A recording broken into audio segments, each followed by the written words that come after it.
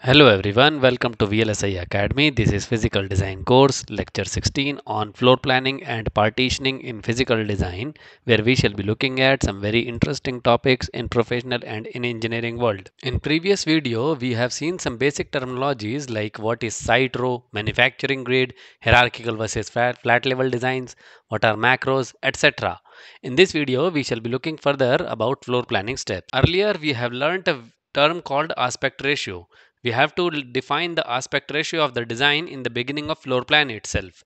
We have seen that aspect ratio is nothing but the length versus width of design. This is the ratio that we call it as aspect ratio.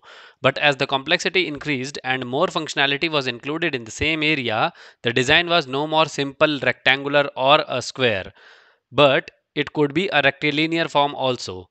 Then that time aspect ratio calculation is also modified to the ratio between vertical to horizontal routing resources. So now a new definition of aspect ratio can be vertical resources versus horizontal resources. Before we go further, let us also learn about utilization.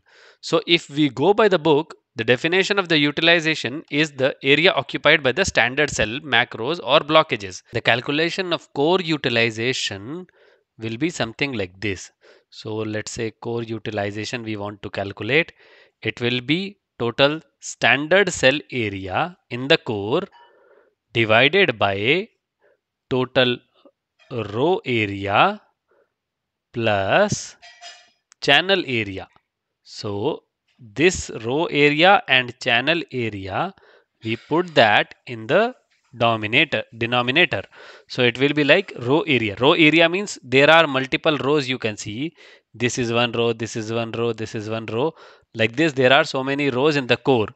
So whatever the row area is there total that will define our total core area. Because it will give us total this this total core area entire core area and then channel area. So core area means this row it will calculate this row it will calculate every row plus there will be some area inside this channel. You can see this channel area here. That also will be taken care. So channel area like this this will be calculated. So there are four channels. Let's say one is x so it becomes 4x channel area is 4x plus your rows. So row beginning will be happening from here now for macros. So this will become total placeable area along with these channels. That becomes your total available area for you to place the standard cells. And how many standard cells are placed? That will be standard cell area. So there are let's say here they, we have shown only smaller amount of uh, cells. So that will be our total standard cell area. In short you can say total occupied area in the core by standard cells. So occupied area of standard cells is your total standard cell area divided by total available placement area. Available placement area. That is your total utilization for the core. But this is the core which we know. This is our core. And there is something outside that is die so core to die we have to maintain some spacing here that we need to keep in the mind. Just to give you an example, here is the snapshot of moderately utilized standard cell placement here. You can see that there are standard cells which are placed here, some have some space in between them left over. But here is the sna snapshot of high standard cell utilization in the core area. The cells are placed very closely and design is highly congested. Command to calculate the utilization here is report utilization. So report underscore utilization in the Synopsys tools. Now let us learn about interface ports or IOs. IOs are needed to communicate with outside of the block and the data and clock will travel through these IOs. So in SOC level, these IO ports are called as IO pads which gets connected to outside world via bumps. At any level, whether this is SOC or a block level, these IO ports will be carefully placed in the floor plan itself with certain spacing and in certain metal layers. So IOs are placed in multiple metal layers. It could be let's say M4 which means fourth metal layer from the beginning. So if your first metal layer is M1 this will be your standard cell rail. So this will be standard cell rail. These are the rows and in this rows let's say this is your M1 row. So standard cell powers will be placed in M1 rows and then over that M2 will be running. There on top of it there will be M3 and then comes the M4.